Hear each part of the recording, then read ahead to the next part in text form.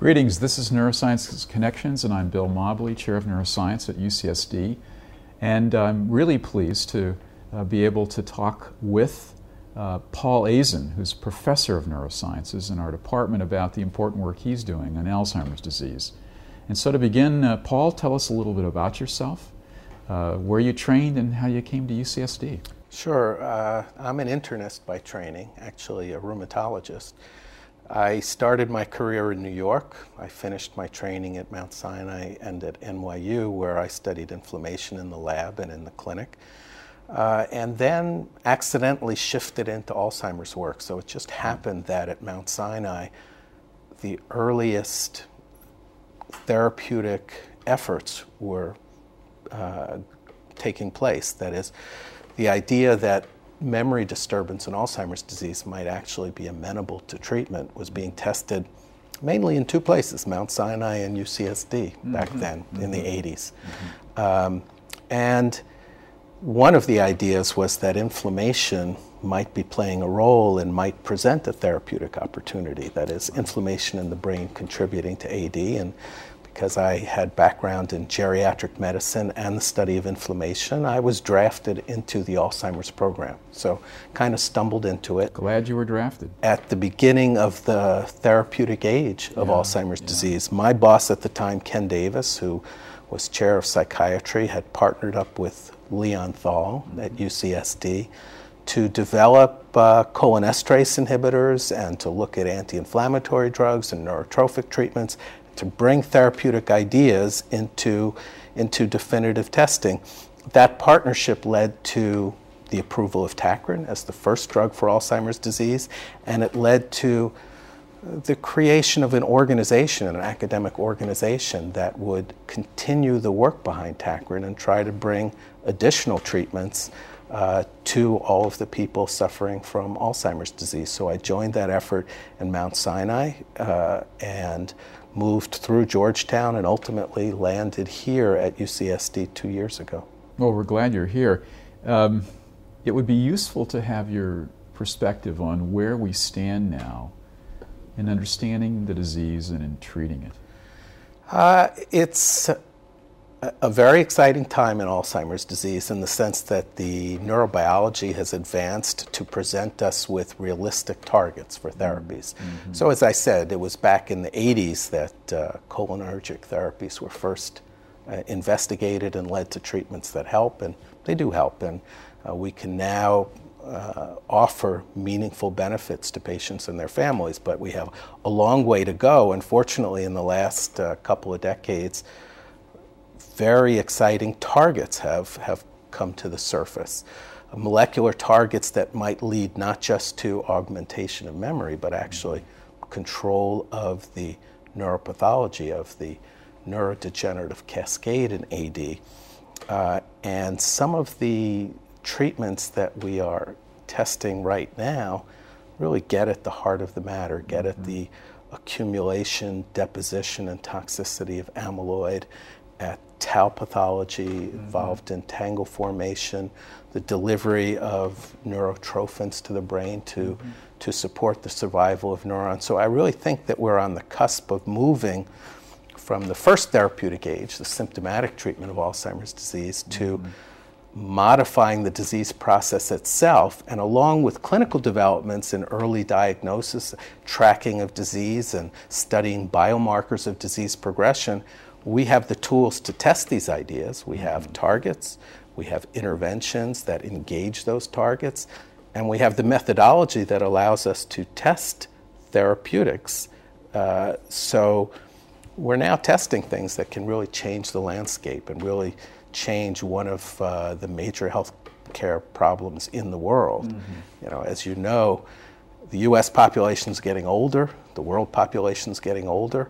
We have uh, five or six million cases of Alzheimer's disease in the US right now. As we are able to identify people at the pre dementia stage, we're able to identify many more. So, mm-hmm. about 10 million people in the US today that are on the path towards dementia. And worldwide, the numbers are just exploding. The projections now are that by the year 2050, just on the basis of the aging of the world population, we're going to have over 100 million people mm. with Alzheimer's disease. So the problem is as big as any problem in medicine today, mm-hmm. and yet all the tools are in place now. So the neurobiology has advanced, the clinical trial methodology has advanced. We actually have very promising treatments in clinical trials. So I feel that uh, this is the most exciting field there is with a huge problem that we are about to tackle in an effective way in an effective way and make uh, a huge difference. It sounds like the way that you get to a place of real hope is by integrating different sources of information. Can you, what do we need to put together? What kinds of people and ideas do we need to put together to solve the problem of Alzheimer's disease? Right. So it's not an easy problem. Mm. Uh, the mechanisms involved are complex. Uh, they're may be no magic bullet. Mm-hmm. We hope that uh, we will find uh, single therapies that make a big impact, but I think it's likely uh, that in fact we need to tackle uh, more than one aspect of the neurobiology at the same time, and mm-hmm. Uh, in order to really bring the disease uh, under control, and and that will probably mean that we need to have a collaborative effort among people in different fields of basic science, um, people with expertise in cell biology, in gene delivery, in adult neurogenesis, in uh, uh, neuroimmunology, bring expertise in each of these areas together to develop therapeutic strategies. Also, add in those with expertise in neuroimaging that will allow us to determine um, dosing schedules, monitor effects of intervention on disease progression, help us identify the optimal time to intervene in the disease. Mm-hmm. So bring in the, the neuroimaging experts and the biochemical biomarker experts that allow us to monitor pharmacodynamics in early stages of clinical development. It actually is uh, an effort that requires uh, a great deal of collaboration. And so, of course, that means being at UCSD and being in La Jolla is the best place in the world to be working on this. Mm-hmm. We, we're fortunate to have uh, world leaders in uh, stem cell biology, neurogenesis, uh, animal modeling, transgenic animal modeling of Alzheimer's disease, biochemical biomarker studies, uh, neuroimaging, experts in each of these areas, as well as some of the leading biostatisticians and bioinformatic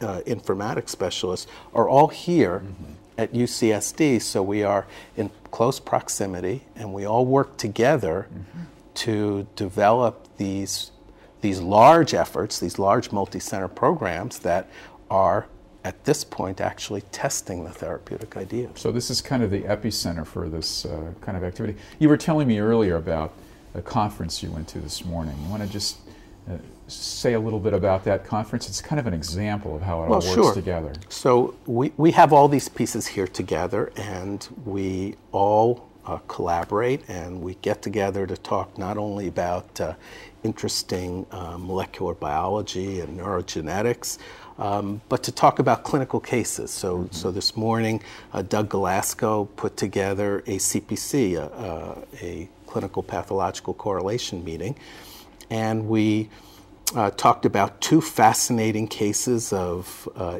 individuals who have genetic mutations in the presenilin-1 gene causing the familial autosomal dominant form of AD with mm-hmm. fascinating neurological presentations.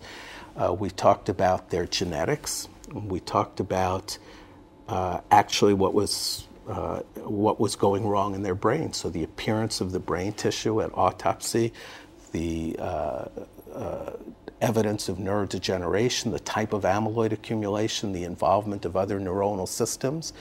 We had extensive um, array of uh, immunohistochemical studies of the brain to tie together the various aspects of the molecular pathology and people interested in all of these aspects that I've been mentioning the neuropsychology of AD, the neuroimaging of AD, the neuropathology of AD, animal modeling of AD, clinical trials in AD. All of those people were together at this conference to learn from these specific cases more about the neurobiology of AD and how we can intervene. So it's exciting, and it's Very happening here.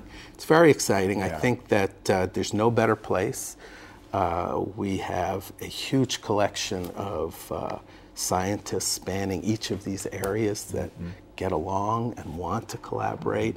We have the entire spectrum from the most basic aspects of the neurobiology all the way to clinical care. Mm-hmm. We have the methods of connecting those two ends of the spectrum through the various stages of translational research and the development of new therapeutics. So, yeah, we're all together here. It's the ideal place to be working on one of the biggest problems there is. And it certainly is a huge problem. What about this issue of early diagnosis? Where do we, I guess the underlying idea is it would be very important to try to detect the manifestations of this disease before clinical symptoms arise. Uh, that would be an ideal way to time to treat the disorder, both from a kind of preventive perspective as well as a reversal of any existing damage. How are we going to make this diagnosis earlier and better? Right. So I agree, that's key.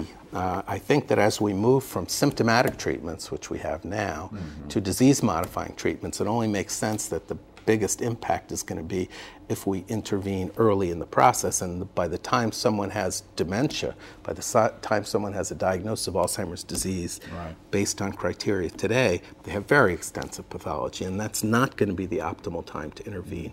So we need to be able to identify people well before that. And through work that's gone on here, but also huge collaborative programs that have been addressing this issue, uh, we've made huge progress. So ADNI, the Alzheimer's Disease Neuroimaging Initiative, uh, which is actually uh, managed through uh, our department here, is a collaboration among academic investigators now worldwide, industry investigators worldwide. All of the major pharmaceutical companies participate. The major regulatory bodies, uh, the FDA, the EMEA, participate. NIH participates. All the foundations interested in AD participate, and we all get together and work on just these questions of how we can monitor disease, make the diagnosis earlier, and intervene earlier. And what's come out of this ADNI effort, this huge collaboration, is that uh, there are uh, ways of, of determining that amyloid dysregulation has occurred um, that can be uh, assessed years, probably 10 to 15 years before the onset of dementia. Uh, we can do that using amyloid imaging of brain, which is just now reaching the clinic. Uh, we can do it by assessment of specific amyloid peptides in the CSF. We can identify people at an asymptomatic stage when uh, they, they are definitely on the trajectory towards Alzheimer's dementia, but are years away from significant impairment. And we are just beginning to take some of our interventions and uh, placing them in this population, in the pre dementia, ultimately in the pre symptomatic population with amyloid dysregulation. So uh, we could not have gotten to this point even with the expertise we have here at UCSD. It, it requires an international, huge collaborative effort, but that's what's happened in the field. Mm-hmm. I certainly wouldn't have believed the extent to which different companies will come together and work on a shared problem, but that's where this field is, and everybody recognizes that we need to all agree on working together to identify people at the earliest possible uh, stage of the neurobiology and develop the methods to study those people and intervene with disease modifying therapies at the earliest possible stage. It's exciting.